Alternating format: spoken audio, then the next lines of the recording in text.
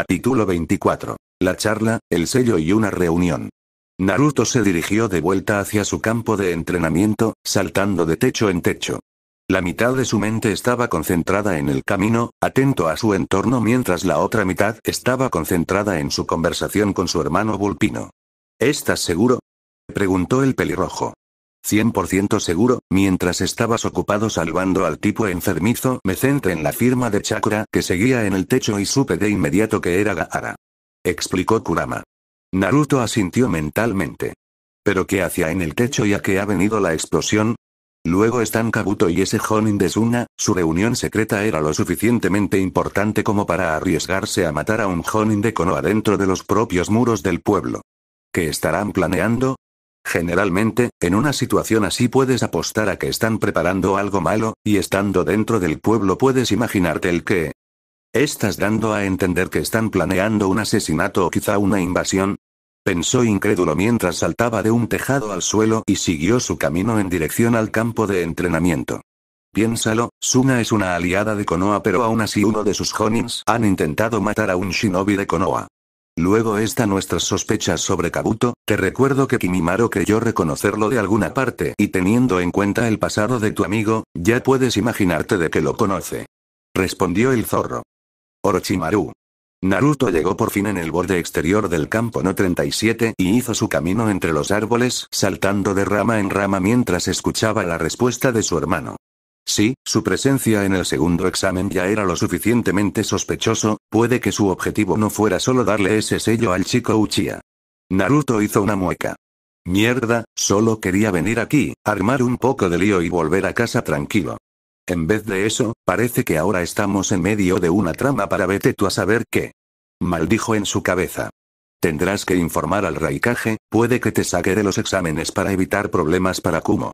Naruto suspiró sabiendo que Kurama tenía razón, pero ya lo haría mañana, había tenido suficiente sorpresa para un día.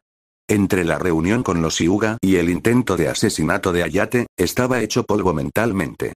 Si solo supiera lo que le espera. Mientras saltaba de rama en rama, vio a lo lejos su padre adoptivo, recostado contra una rama.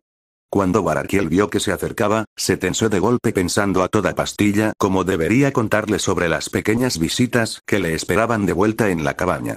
Naruto aterrizó en la misma rama sobre la que estaba de pie su padre y levantó una ceja curioso, al ver el nerviosismo del hombre. Touchan, ¿ha pasado algo? El Tengu empezó a sudar. Bueno, se podría decir que sí. Solo, mira, mejor ve directo con los demás y lo entenderás. Dijo rápidamente. Al final, decidió dejarles el marrón a Azazel y Darui. Naruto miró extrañado a su padre, pero decidió escuchar y se preparó para seguir su camino. Está bien, buenas noches Touchan. Dijo antes de saltar a la siguiente rama. Mientras el pelirrojo iba saltando en dirección a su alojamiento, decidió comentarle esto a su hermano. Qué raro. Sí, mejor apúrate para ver qué coño está pasando. Dijo el zorro mientras entrecerraba los ojos sospechoso. Naruto siguió su camino y unos cinco minutos después aterrizó en el borde del claro donde se alojaban. Al levantar la vista, observó con horror y miedo los buena parte del terreno estaba completamente quemado, lleno de cráteres y cicatrices en la tierra. Incluso un lado de la casa de madera que había construido había sido dañada por el fuego. El pelirrojo se precipitó hacia la casa de madera y abrió la puerta de golpe antes de correr hacia el interior. Giró hacia la izquierda donde se encontraba el comedor y al mirar hacia adentro, se le cayó el alma al suelo. En el comedor, sentados alrededor de Shuri se encontraban Kusina, con Mito en su regazo, Anko Mitarashi y Yakumo Kurama. De pie detrás de las mujeres estaban Kimimaro, Jugó, Daru y Azazel. No era el grupo lo que horrorizó al pelirrojo, sino lo que tenía Shuri en sus manos. Un libro, abierto de par en par a la vista de todos, el cual Naruto podía ver el título en su portada. Álbum de fotos de Naruchan Naruto empezó a recordar las diferentes veces que su madre le tomó fotos y las puso en el álbum. Cuando salía del baño, vestido con un yukata ceremonial, disfrazado de zorro, y muchas otras situaciones que ahora a los 15 años podía considerar bochornosas y embarazosas. Shuri, Kusina, Anko y Yakumo tenían notables sonrojos y sonrisas inquietantes mientras miraban el álbum. Mito estaba mirando curiosa y divertida a su hermano cuando era joven. Daru y Azazel estaban conteniéndose con todo lo que tenían las ganas de reírse. Kimimaro estaba mirando las fotos con aspecto analítico, fascinado por descubrir una faceta de su señor que desconocía. Hugo estaba mirando con el ceño fruncido entre las fotos y Yakumo sintiendo cierta molestia al ver a la chica sonrojarse por su señor. Naruto bajó la cabeza de primo. Se acabó, mi vida ha terminado. Voy a tener que exiliarme en un lugar lejano para escapar de esta humillación. Pensó mientras las lágrimas caían como ríos por sus mejillas. Kurama se echó a reír. Vamos cachorro, no es para tanto. Aunque si tanto te molesta siempre puedes matar a todos los testigos y nadie se enterrará jamás. Dijo en broma. Pero se arrepintió de inmediato de sus palabras cuando sintió los pensamientos homicidas de su contenedor. Oye, oye, oye, que era broma. Gritó en pánico, no pensaba que se lo iba a tomar en serio. Oni-chan. Por fin alguien se dio cuenta de su presencia y fue la pequeña Mito, que se levantó del regazo de su madre y corrió hacia su hermano. Naruto salió de sus pensamientos a tiempo para coger a la niña que había saltado a los brazos de su hermano, rodando su cintura con las piernas y sosteniéndose por el cuello de Naruto, como un orangután. El pelirrojo no pudo evitar sonreír a su linda hermanita mientras apoyaba a la niña con sus brazos. Es bueno verte de nuevo, Mito. La pequeña Rubio hizo un puchero y miró contrariada a su hermano mayor. Oni-chan eres malo, dijiste que vendrías a verme después del examen y he tenido que venir yo. Se quejó. El chico hizo una mueca de incomodidad. Eto, lo siento, pero varias cosas pasaron y no pude venir antes. La niña siguió haciendo pucheros unos segundos más antes de sonreír. Bueno, te perdonaré porque eres Oni-chan. Contestó y volvió a abrazar con fuerza a su hermano mayor y Naruto devolvió el gesto con una sonrisa. El público que observó la interacción entre los dos hermanos tuvo reacciones mixtas. Kimimaro, Hugo y Darui observaron la escena con una sonrisa mientras que las mujeres tuvieron que contener las ganas de gritar kawaii a pleno pulmón. Azazel, bueno, estaba retorciéndose en el suelo en agonía después de que Shuri le clavara su puño en las pelotas por intentar reírse de la escena ante ellos. Kusina por su parte, estaba mirando a sus dos hijos con sentimientos encontrados. Por una parte su corazón se fundía de pura alegría al ver a los dos niños que había traído al mundo llevarse tan bien, pero también lamentó aún más la decisión que tomó hace 15 años porque habría sido capaz de ver más escenas como esta si no hubiera sido tan estúpida. Pero entonces Naruto recordó que tenía más invitados en la sala y miró a los demás presentes con una ceja levantada. ¿Puedo saber por qué tenemos tantos invitados? Preguntó en un tono neutro. Jugó levantó la mano. Yakumo-san se ha ido de casa por una disputa con sus padres y le he dicho que podía quedarse aquí con nosotros hasta que encuentre una nueva casa. Explico a la vez que la chica aludida bajaba la cabeza deprimida. ¿Qué? Gritó Kusina conmocionada. Naruto suspiró. Genial, ahora vamos a tener que entrenar con más cuidado o pedirle a Yakumo que se vaya o no podré entrenar con tranquilidad sin que se entere de mis mayores técnicas. Pensó con fastidio. Quería guardar sus habilidades Mokuton hasta el día de la final pero su amigo Pelinaranja le acababa de complicar el asunto. Aún así, no iba a decirle que no a su amigo, si su sensei no dijo nada sobre el asunto él tampoco lo haría. Está bien. ¿Y tú Anko-san? Preguntó. La mujer hizo una sonrisa incómoda mientras juntaba sus dedos índices juntos dubitativa. Verás, teniendo en cuenta que conocías el origen del sello maldito y que eres muy bueno con los sellos, pensé que quizás podrías echarle una ojeada a mi sello, por favor. Contesto, aunque la última parte había salido con un extraño tono suplicante. Naruto se quedó mirándola en silencio, preguntándose brevemente cómo sabía que era un Fuin Master, pero dejo esa cuestión para más tarde. Está bien, no me importa ver si puedo hacer algo. Contestó. La sonrisa de Anko se estiró de oreja a oreja y Naruto sonrió brevemente antes de mirar a Kusina en busca de respuestas. La peli blanca se encogió ligeramente bajo la mirada de su primogénito pero aún así no vaciló. Vine porque quería hablar contigo. Dijo en un tono convencido. Naruto se quedó mirando a la mujer sin saber qué contestar. Durante años había tenido sentimientos conflictivos sobre este momento. ¿Debería echarse a llorar? ¿Gritar tal vez? ¿O simplemente partirle los dientes y dejarla a su suerte para no volverla a ver jamás? El pelirrojo había sabido que sería difícil ver a sus padres biológicos, pero no sabía cuán difícil iba a ser. Ayer mismo tuvo el impulso inmenso de hacer todas esas cosas a locaje solo por estar delante de él y no estaba seguro de cómo debería abordar la situación actual.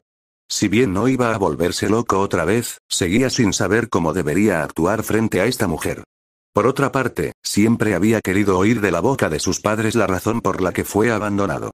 Naruto suspiró y asintió antes de mirar a su hermanita. Mito, ¿puedes dejarnos solos un minuto para que podamos hablar? La niña miró entre su madre y su hermano antes de asentir. Naruto la dejó en el suelo antes de mirar a la peli blanca de nuevo. Sígueme. Dijo antes de salir del comedor dirigiéndose hacia su habitación. Kusina no tardó en levantarse y seguirle rápidamente mientras los demás vieron a la pareja madre barra hijo mientras se iban con cierta preocupación. Naruto subió en silencio las escaleras mientras pensaba en cómo debería comportarse, se sentía nervioso, aterrado y ansioso. El pelirrojo no sabía cómo definir sus sentimientos en este momento y también dudaba de que iba a poder controlar sus emociones si las cosas resultaban ir mal. Tranquilízate, primero escucha y luego actúa de forma natural. No contengas lo que sientas, solo déjalo salir. Dijo Kurama, podía odiar con toda su alma a Kusina, pero no iba a influenciar la decisión de su hermanito. Era él el que debía tomar sus decisiones.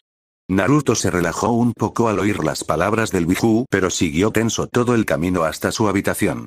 Abrió la puerta y se quedó agarrando la manilla esperando a que Kusina entrara. La mujer con cierto nerviosismo entró en la sala y una vez dentro, Naruto cerró la puerta antes de apoyarse contra ella. Naruto miró la habitación donde se estaba quedando su hijo y vio que aparte un saco de dormir y cierto material dejado en una esquina, no había absolutamente nada en la sala. Luego se dio la vuelta para encarar al pelirrojo y el nerviosismo se apoderó de ella. Naruto observó cómo la peli blanca retorcía la comisura de su camiseta azul oscuro que llevaba bajo su chaleco Honin. El chico estando harto del silencio incómodo decidió comenzar. ¿De qué querías hablar?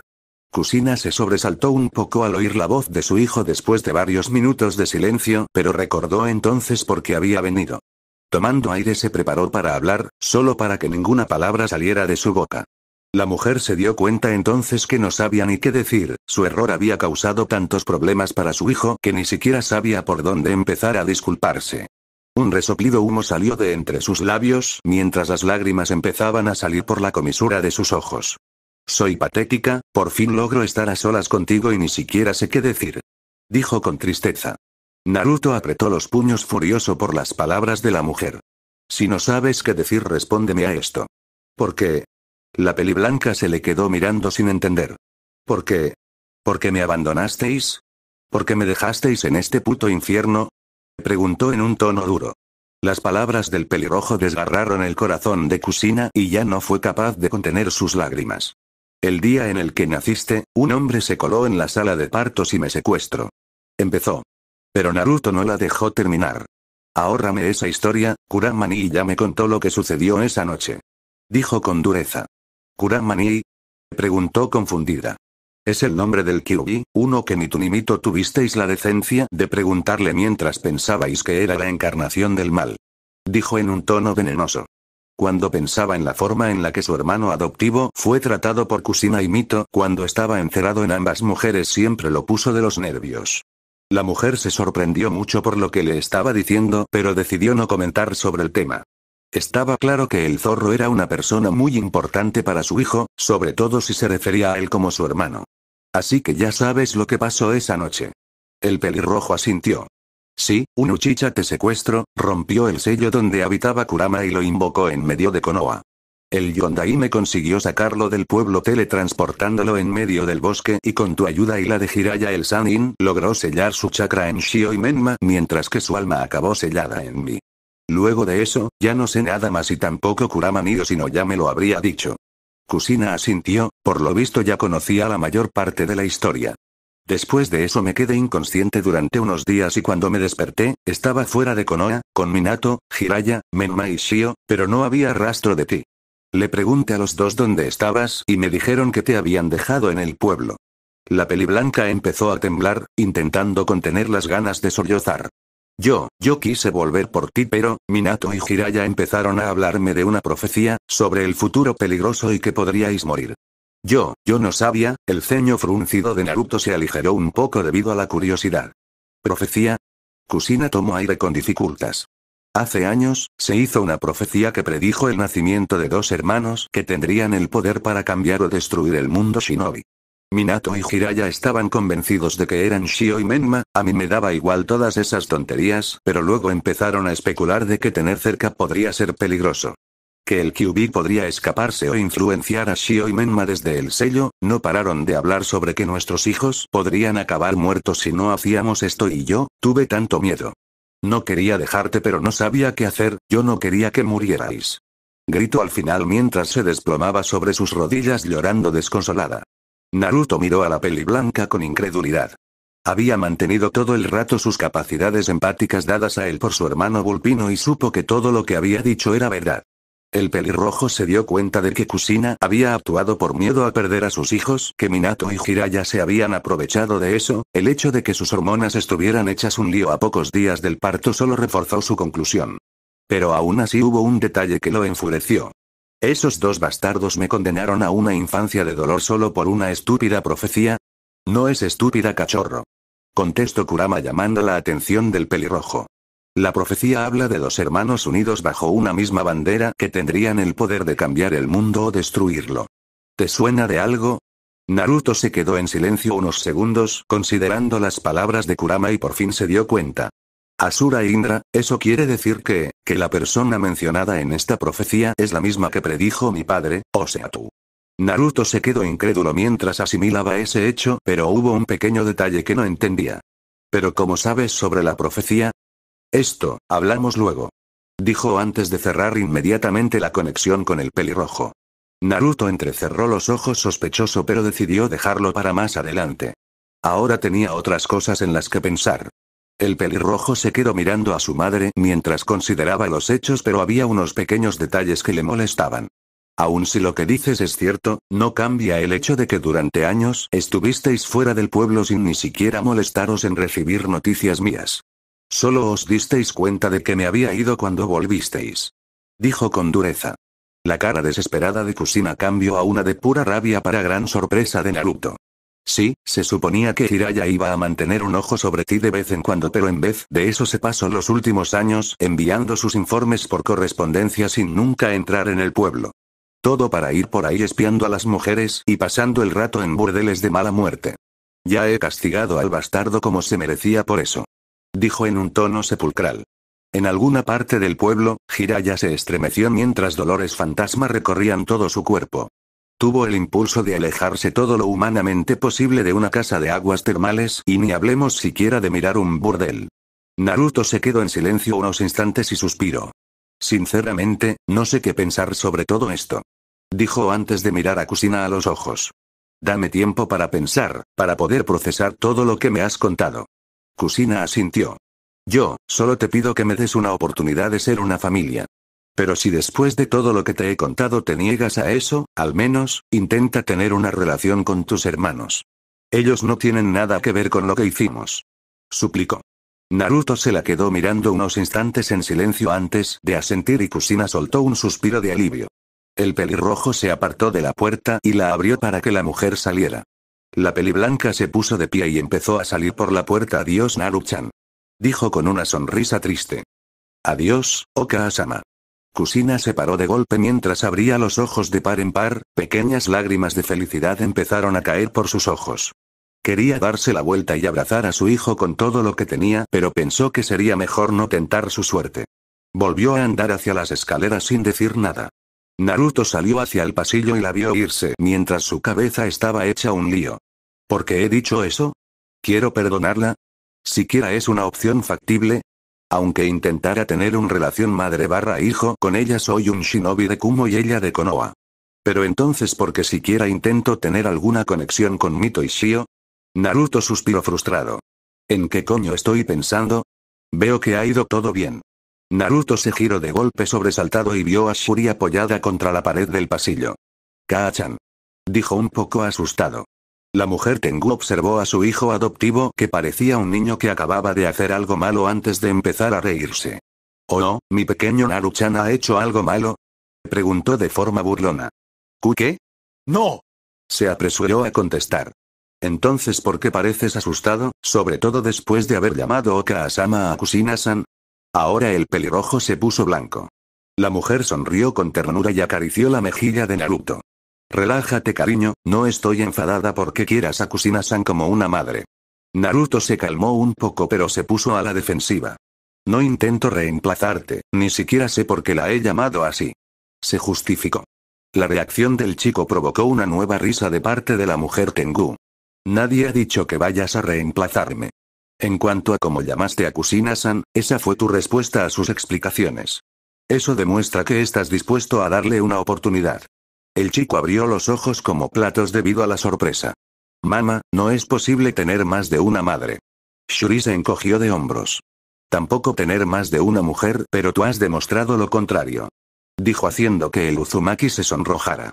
Además, la relación consanguínea no es lo único que define el parentesco.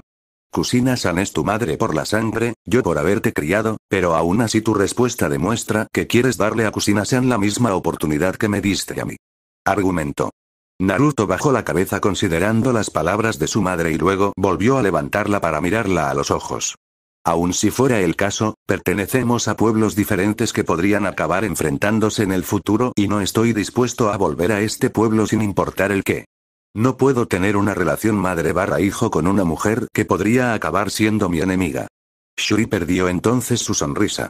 ¿No eras tú quien quería traer la paz al mundo? ¿Un mundo donde dejaran de lado el odio y el conflicto por un bien mayor? ¿O acaso has olvidado tu sueño? Preguntó con seriedad. La respuesta conmocionó al pelirrojo y abrió y cerró la boca repetidas veces sin saber qué decir. Si ahora mismo es imposible, crea un mundo donde puedas venir aquí de vez en cuando a ver a tus hermanos y a tu madre sin que nadie objete sobre el tema. Naruto se quedó mirando a su madre en silencio hasta que poco a poco una pequeña sonrisa se formó en su boca. Gracias Kachan. Dijo antes de abrazarla. Shuri se rió mientras devolvía el abrazo, contenta por haber podido ayudar a su hijo adoptivo. Bueno, te recuerdo que aún tienes que mirar el sello de Ankosan. Por cierto, Mito se ha estado quejando que quiere pasar tiempo contigo. Dijo la madre divertida. Naruto suspiró cansado. Está bien, puedes mandarme a Ankosan por favor. También dile a Mito que vuelva mañana a la misma hora y pasaré la tarde con ella, se está haciendo tarde. Shuri asintió y se fue hacia el comedor mientras Naruto entraba de nuevo en su habitación. No pasaron ni 20 segundos desde que Shuri bajó y el Uzumaki pudo oír con claridad los sonidos de pasos aproximándose rápidamente hacia este lugar. La puerta se abrió de golpe y Anko entró respirando con dificultad. Hola bien, ¿por dónde empezamos? Naruto se sobresaltó un poco por la entrada brusca de la mujer pero no comentó nada sobre el tema. Para empezar, ¿dónde está el sello? preguntó. Anko hizo una mueca y su mano derecha viajó hacia el lado izquierdo de su cuello. Ya veo. Por favor, siéntate en el suelo y déjame mirarlo. La mujer asintió y entró un poco vacilante en la sala. Cuando Anko se sentó en el suelo, Naruto se colocó delante de ella y se arrodilló antes de apartar su con su mano derecha el cuello de su armadura de red. El pelirrojo observó entonces el tatuaje en forma de tres tomoes giraron sobre ellos. Con su mano izquierda, colocó la palma de su mano encima del sello y cerró los ojos.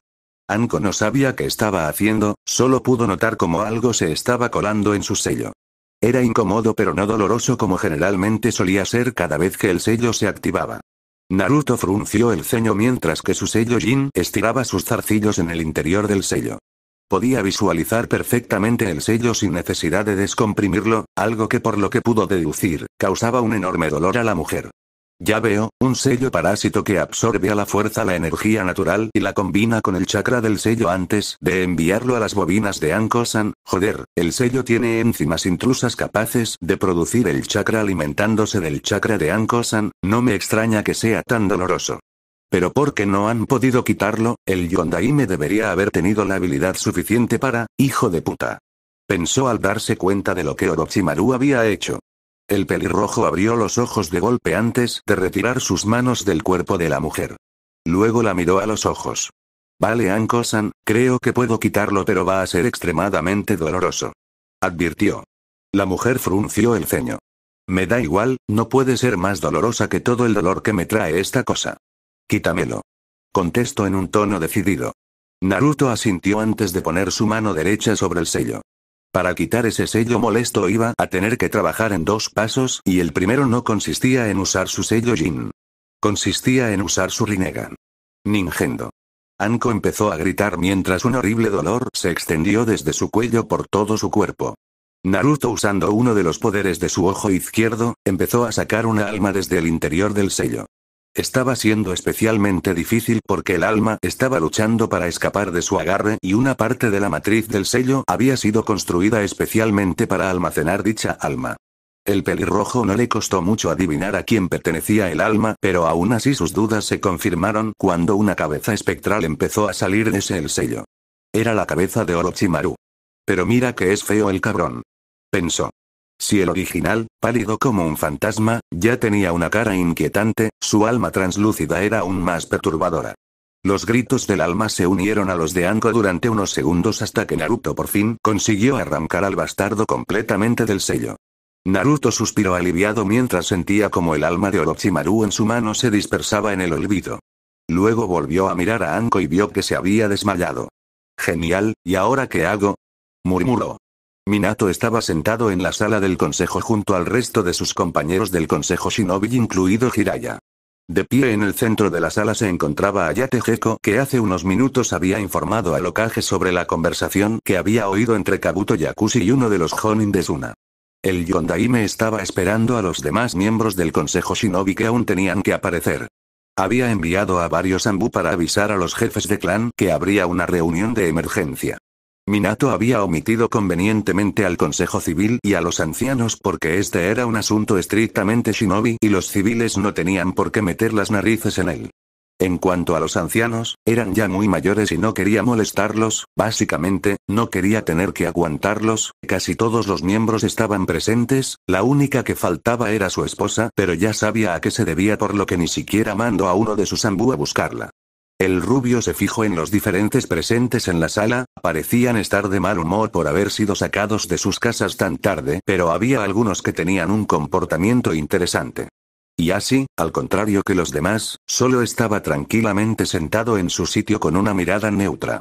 Cualquiera habría pensado que no había nada malo en ello, solo que Minato estrechó los ojos cuando le pareció ver la comisura de los labios del hombre ligeramente levantadas. Un Yuga sonriendo, ahora sí que lo he visto todo. Pensó el Namikaze. La otra persona que tenía un comportamiento extraño era Murakumo Kurama. Estaba cabizbajo mirando sus piernas y tenía una expresión de profunda tristeza en su cara. A pesar de que Minato era curioso pensó que no debería preguntar. Lo más seguro es que sea debido a algún asunto de su clan.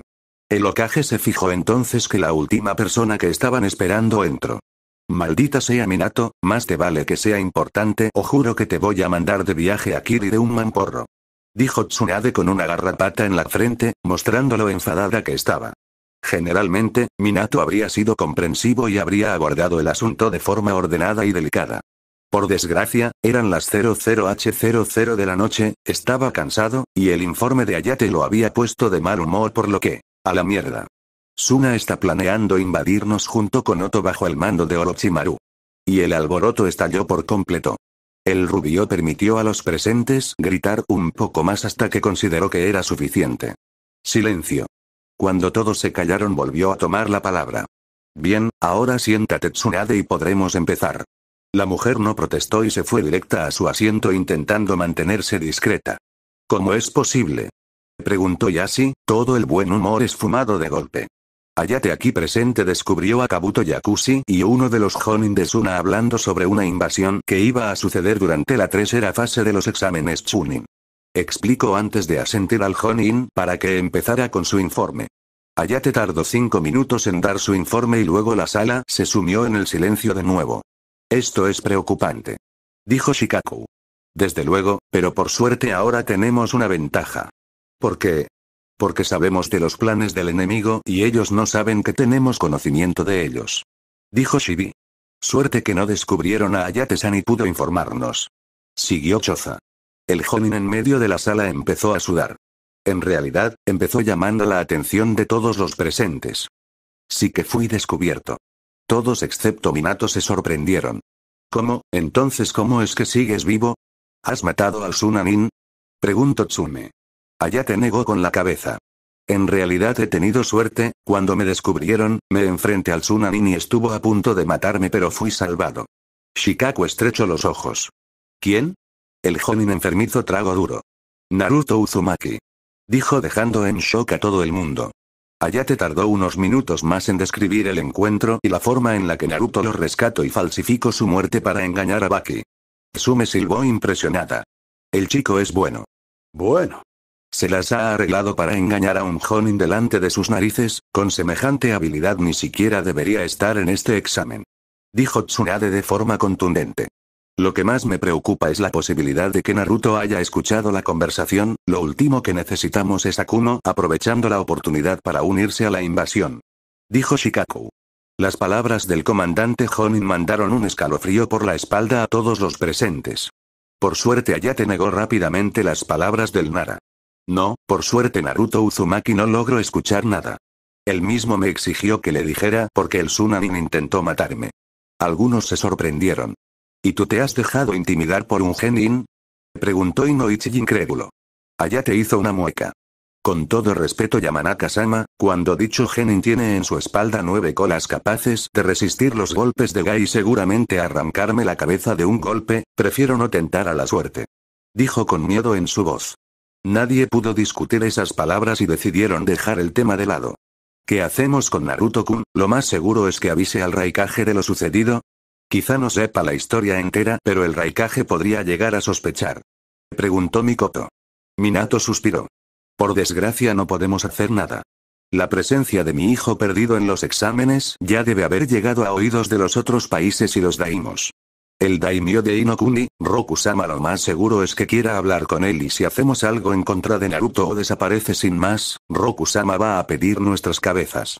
Aquí todos se pusieron nerviosos. Podían recordar con claridad ese escándalo que montó su daimyo hace años cuando se enteró de la desaparición del último Uzumaki debido al maltrato de los habitantes del pueblo. Sin contar el hecho de que el Raikage podría declararnos la guerra, Naruto-san es un shinobi registrado en Kumo y uno de sus Hinchuriki, sería suficiente para que Kumo nos declarara la guerra. Con Tsunayoto a nuestras puertas, junto con el rencor que tiene Iwa por Konoha, podríamos acabar atrapados en una guerra de cuatro frentes. Añadió Shikaku preocupado. ¿Entonces qué hacemos? Preguntó Tsunade. La sala se quedó en silencio unos minutos hasta que Shikaku salió con una posible solución. Puede que tenga algo pero no le va a gustar Okage-sama, y a ti tampoco Yashi. Dijo el Nara llamando la atención de todos y provocando que los dos aludidos fruncieran el ceño. Podríamos proponer a Kumo una alianza. ¿Qué? Gritaron todos. Shikaku, ¿estás loco? Hace 12 años ya intentamos formar una alianza con Kumo y nos apuñalaron por la espalda. En realidad, Naruto-kun me aclaró el incidente que ocurrió en ese entonces. Todos se giraron para ver a Hiruzen que había estado extrañamente callado durante toda la reunión. ¿A qué te refieres Hiruzen? Preguntó Minato. Digamos que el embajador de Kumo estaba en la nómina de los antiguos partidarios del Sandaime Raikage. Asama quería hacer una alianza genuina con nosotros, solo que al final debido a los intereses de dichos partidarios todo salió mal. Explicó sorprendiendo a todos los presentes. Todos menos uno. Es cierto. Dijo Yasi llamando la atención de todo el mundo. Hoy invite a Naruto-san a mi casa para hablar sobre el comportamiento de mi sobrino y me explico todo lo ocurrido. Incluso me trajo el cadáver de mi hermano para que pudiera ser enterrado junto a su mujer. Explicó aclarando las dudas de Minato sobre por qué estaba tan contento. Nadie dijo nada más sobre el tema y el Nara aprovechó el momento para llamar de nuevo su atención. Como iba diciendo, podríamos proponer una alianza con Kumo para sacarnos algunos problemas de encima. La alianza que proponían hace 12 años incluía un acuerdo comercial entre nuestras villas y nuestros países. Podríamos renovar la oferta y proponer dicha alianza el día antes de la tercera fase al mismo tiempo que le informamos sobre la invasión. Explicó. ¿Por qué el día antes? Preguntó Inoichi. Porque, si en el peor de los casos rechazan nuestra oferta, siempre podemos echarlo fuera de la aldea. Tardaría varios días para volver y para entonces la invasión ya habría ocurrido. Si intentar avisar a Suna de que somos conscientes de que quieren invadirnos, por lo que ha dicho Ayate, se echaran atrás y dudo que Otto lance un ataque contra nosotros por sí solo. Pero si realmente acepta, entonces tendremos el apoyo de otro caje para repeler a los invasores y a sus guardaespaldas. Nadie pudo contrarrestar la lógica del comandante Jonin. Sin embargo, hubo alguien que quiso añadir su grano de sal. Hay un detalle que estás olvidando Shikaku. Empezó Hiruzen. Orochimaru, todos fruncieron el ceño. Es cierto, el bastardo lo más seguro es que vaya tras la cabeza de Sensei. Dijo Jiraya. También está el hecho de que marcó a Sasuke en el bosque con su sello maldito, lo más seguro es que intentara hacerse con el chico.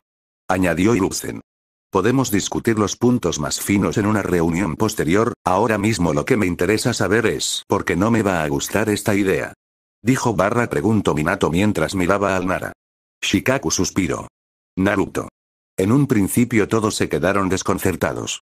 Todos sabemos que queremos al chico de vuelta, algunos por razones más personales que otros, pero si realmente queremos una alianza con Kumo el chico va a ser un enorme problema, a menos que hagamos sacrificios.